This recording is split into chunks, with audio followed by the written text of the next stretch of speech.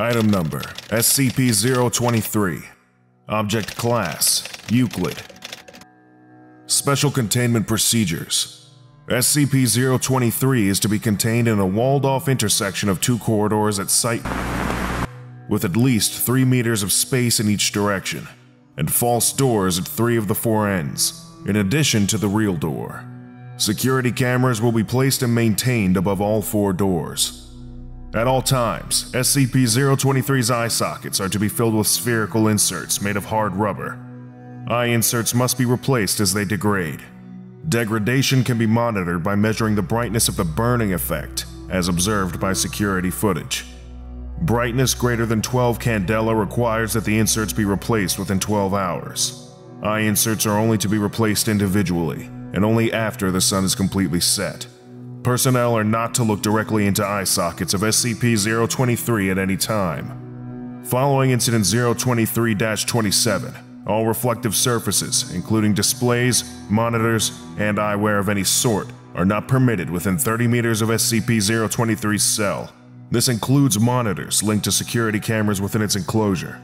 Security personnel posted at checkpoints outside both corridors will enforce and adhere to this measure. Experimentation involving SCP-023 has been suspended indefinitely. Description SCP-023 is a large, sexless, shaggy canine, 1.5 meters at the shoulder, with black fur. The following text has been struck through. It has bright orange-red eyes and prominent teeth. End of strike through. Anytime an individual makes eye contact with SCP-023, either that person or a member of their immediate family will die exactly one year after eye contact is broken. Research into the method of selection is incomplete due to a moratorium on experiments, but the available data suggests that having a larger immediate family lessens the chance of the individual making eye contact themselves dying, and neither a pattern nor a preference in victim types have been found. This may indicate that SCP-023's victim is designated entirely at random, but it is unknown whether this selection occurs at the beginning or at the end of the one-year time period. Attempts to terminate an individual who has made eye contact with SCP-023 and their entire immediate family before the one-year time period has ended, data expunged. Autopsies of individuals killed by SCP-023's effect show that, while outwardly appearing unharmed, their remains have been filled in with highly compacted ash, including but not limited to all organ systems and the circulatory system.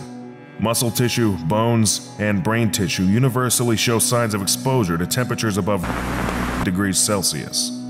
If not contained in a setting that at least superficially resembles a crossroads, SCP-023 will phase through walls to get to the nearest suitable location, incinerating all materials it passes through. SCP-023 was first brought to the Foundation's attention when it attacked a church while it was in session, killing civilians directly and as a result of eye contact. Following retrieval of SCP-023, Class B amnestics were administered to all witnesses and surviving victims. The incident was covered up as a case of arson. Incident Report 023-026 SCP involved SCP-023 Personnel involved Dr. 5D Class personnel Date Location Site Description In an attempt to curtail the danger posed by SCP-023, Dr. has approved the removal of both 023's eyes and teeth. Immediately after both its eyes were removed, SCP-023 breached security by vanishing completely. SCP-023 was reobtained on a stretch of interstate at 4.37 p.m. and brought back into containment, where D-Class personnel finished pulling out its teeth. While the total number of civilians exposed to SCP-023 during this period is unknown, Death Record Monitoring has tied nine civilian deaths to this incident. Time Timestamps confirmed over the course of the next 48 hours that SCP-023 vanished only while the sun was visible in the sky from outside Site. Addendum 023-026-1 As of Dr. has been suspended pending disciplinary review for contributing to, if not being directly responsible for, Incident 023-026. Dr. is now in charge of SCP-023. The increased difficulties in containment that have been incurred as a result of Dr. should serve to remind all personnel of the Foundation's purpose. Secure, contain, and protect. Research, experimentation, convenience, and even the safety of Foundation personnel are secondary concerns. We are not working to protect ourselves. 05. Addendum 023-026-2. A total of bodies, with a time of death exactly one year after Incident 023-26, have been identified as consistent with SCP-023 exposure. Incident Report 023-27. SCP involved. SCP-023. Personnel involved. Dr. Data expunged. Date. Location. Site.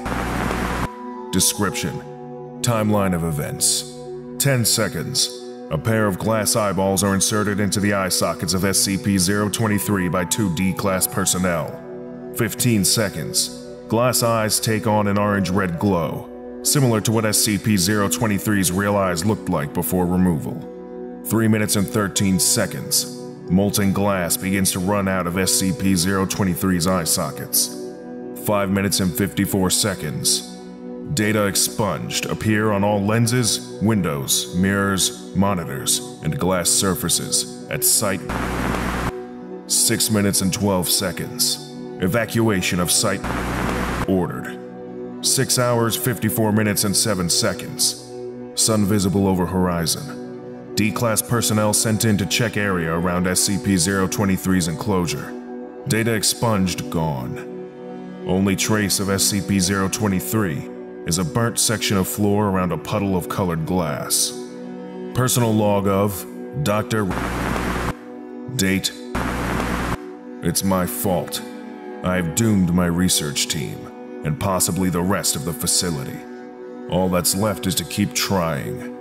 We must contain SCP-023. Note, on one year after Incident 023-27, personnel were interred in an unmarked mass grave outside Site Addendum 023-001 SCP-023 broke containment on by passing through its cell wall.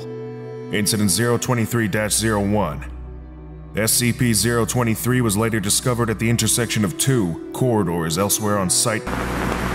Agent noted SCP-023's similarity to a special containment procedure for SCP-023 updated. Assistant researcher issued a reprimand for negligence. Addendum 023-002 SCP-023 has been responsible for the deaths of personnel and civilians since it was first brought into containment on 10-12-94.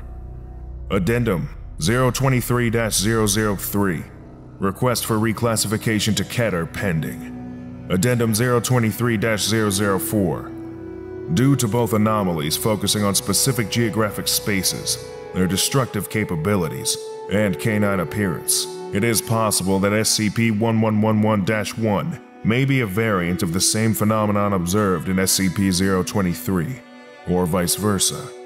Investigation into the origin of both anomalies is ongoing. Due to the inability to capture SCP-1111-1 for study, investigations are currently focused on SCP-023. Item Number SCP-367 Object Class Euclid Special Containment Procedures SCP-367's containment area is to be checked daily for damage done by SCP-367. Any and all damage to containment area is to be repaired immediately. Should damage exceed that which can be repaired in a 12-hour period, SCP-367 is to be moved to a temporary containment area and kept under constant observation while repairs are made.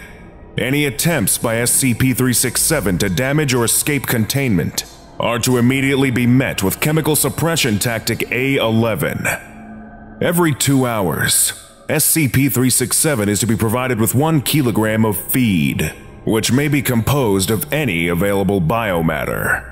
In the event that no suitable biomass is available, other items may be provided for consumption, and CST-A11 is to be placed on standby in case of rejection behavior by SCP-367. SCP-367 is to be weighed after each feeding period to monitor weight and density increase leading up to division. Additional instances of SCP-367 forming in containment are to be disposed of. No unprotected interaction with SCP-367 is to be undertaken, unless it is within 30 minutes of a feeding period. SCP-367 may not be removed from the containment area without approval by Site Command. No instances of SCP-367 are to be released to staff for any purpose other than testing. Description SCP-367 appears to be a small dog of variable breed, most often appearing as a small brown puppy. SCP-367 exhibits a slightly elevated appetite and activity level for a dog of its apparent age and size, and does not sleep, but otherwise behaves as expected for a dog. SCP-367 is a massive single-celled organism, composed of what appears to be a mass of yellow slime, with several white threads suspended in it, with a semi-solid sphere of gray material in the center, deemed the nucleus.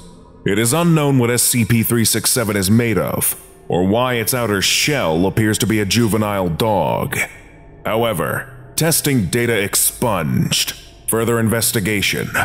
The strings appear to function as the muscular skeletal system, and under most circumstances, the movement and general behavior of SCP-367 are indistinguishable from a normal dog. SCP-367 is capable of feeding on any solid matter, and has shown the ability to dissolve and digest concrete, steel, titanium, carbon fiber, bone, wood, data expunged. When presented with an item that cannot fit into the external shell's mouth, or be broken down with the teeth, SCP-367 will project pseudopodia from its internal mass and break down the matter into a consumable form.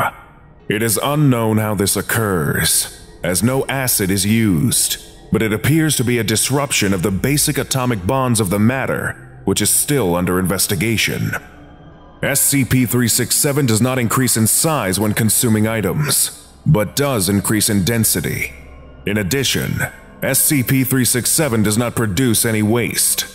After consuming enough material to double its starting mass, SCP-367 will find an isolated location, such as in a cabinet or under furniture, and liquefy its outer shell. It will then divide into two equal masses and reform its outer shell, creating two instances of SCP-367. If SCP-367 is left without food for more than three hours, the internal strings will project from the eyes and mouth areas of SCP-367 and attempt to bore into and break down all nearby matter.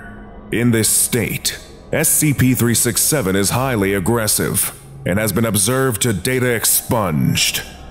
Notes on recovery SCP-367 was recovered from the residential home of Miss Myra Bancroft in Ireland. Mrs. Bancroft was reported missing several days before, and Foundation staff established containment of her residence when it was reported that she had over 80 small dogs in her home, which had consumed her corpse and most of the home. A single instance of SCP-367 was recovered, with all other instances eliminated via CST-A11. Ongoing monitoring is in effect to isolate any remaining SCP-367 outside of containment.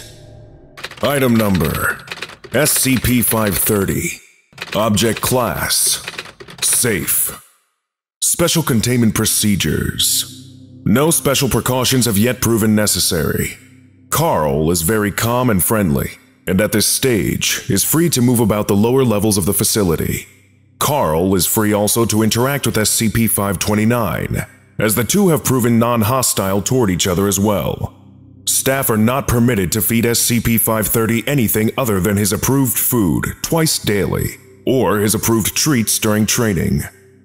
Description SCP-530 appears to be a small dog in a constant state of physical alteration. Height typically varies between 20 centimeters and 30.5 centimeters at the shoulders. Width across the back typically varies between 7.5 centimeters and 18 centimeters. Length typically varies between 25.5 centimeters and 45.5 centimeters. Larger and smaller sizes have been recorded but are rare and do not last long. The coat of SCP-530 is also in a state of constant change. To date, 467 different hues have been recorded, as well as an unidentified number of patterns. The most extreme flux comes from the growth or absorption of additional limbs, noses, mouths, eyes, ears, and other body parts. While these typically do not last longer than 24 hours, a third eye located slightly left of center on the top of SCP-530's head has remained since approximately one half hour after its discovery. Addendum 530-203A Agent M fed Carl a slice of deli ham of standard proportions, in clear violation of dietary regimen. The resultant odor has been described variously as horrid and plant withering. Agent M has been reprimanded. Item number SCP 652.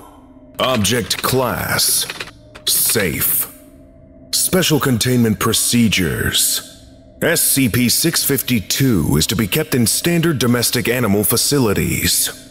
The room requires basic furnishings for SCP-652 and its handler. Bedding, food, water, and so on. SCP-652 and its handler are permitted to roam the facility grounds at will. Personnel who come in contact with SCP-652 are not permitted to wear heavy boots. SCP-652 is badly frightened by such boots, and by anyone wearing them. For the same reason, Personnel who come in contact with SCP-652 are not permitted to grow beards. SCP-652's vocalizations are to be recorded and preserved for analysis. Special note is to be taken of any mentions of the phrases ash cloud, hurricane, and or radiation. Description SCP-652 presents as a neutered male dog of the Basset Hound breed. Bone growth analysis indicates that subject is approximately three years old. Subject appears to be physically normal, beyond four significant abnormalities. Subject has a tattoo on its belly in the shape of the Marshall, Carter, and Dark logo. The tattoo was likely applied in the dog's infancy. X-rays of the subject reveal several poorly healed skull fractures and broken ribs, suggesting extreme physical abuse. Subject's jaw muscles are well developed, above that of a normal dog of this breed. However, bite force is in line with what is to be expected of a dog this size. This abnormality is likely to be a direct result of abnormality 4, below. Subject's larynx is grossly distorted. X-ray examination shows significant diversion from expected size and shape. It is unclear whether this is the result of genetic engineering or of surgery. This distortion is believed to be linked to its behavioral anomaly.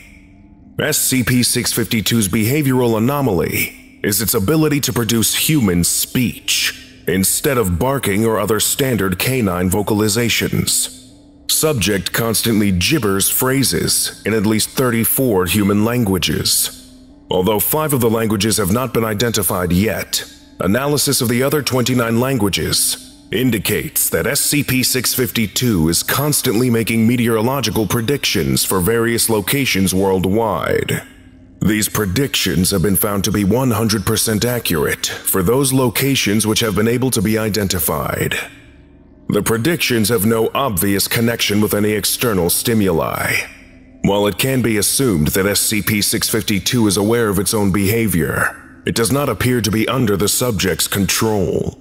Quality and clarity of vocalization is dependent on SCP-652's physical condition. Speech is muted and mumbled while the subject is sleeping, garbled while the subject is eating or drinking, and agitated and staccato when the subject is excited or afraid. Subject's voice is low in pitch and has a rather limited vocal range. Staff consistently refer to it as unsettling. While SCP-652's unusual larynx is the most obvious link to the subject's constant vocal activity, a basic knowledge of speech production tells us that simply changing an animal's larynx will not necessarily allow it to make sounds similar to human speech. Indeed, comparative biology reveals that human and canid larynx structures are actually quite similar. SCP-652's larynx, on the other hand, appears to have no correlation to either. History SCP-652 was recovered during a raid on a Marshall Carter and Dark office in it was found in a shipping crate bearing the indications of having been recently delivered by the National Postal Service with an invalid return address. At the time of the raid, a Marshall Carter and Dark operative was in the process of composing a letter regarding SCP-652. The operative died while resisting capture, and the letter was retrieved from her typewriter. Document 652G List of identified languages spoken by SCP 652 Albanian, Armenian, Basque, Bulgarian, Danish, Dutch, English, Estonian, Finnish, French, German, Greek, Hausa, Hungarian, Icelandic, Italian, Japanese, Kannada, Khmer, Lithuanian, Malagasy, Polish, Russian, Romanian, Spanish, Swahili, Tagalog, Urdu, Vietnamese. Document 652 N41. Incomplete letter from Marshall Carter and Dark Operative 2 regarding SCP 652. Dear Colonel, I regret that you were unsatisfied with your purchase. However, it is scarcely our fault that you misinterpreted the catalog description of the item. That said, I must remind you once again that all sales are final. We provide our clients with unique and unparalleled experiences. We do not provide refunds, regardless of whether or not you return your purchase. One would hope that you would have learned this by now. Because we value your business, and because we regret the unfortunate incident subsequent to your last year's purchase of data expunged, I have been authorized to repurchase the item from you. We will pay you in cash, or offer you twice that amount as credit on your next purchase. Although this is less than 10% of your original purchase price, the end of document. Lesson complete. To continue with your orientation training, Subscribe to SCP Orientation right now, and make sure you don't miss any of our upcoming videos.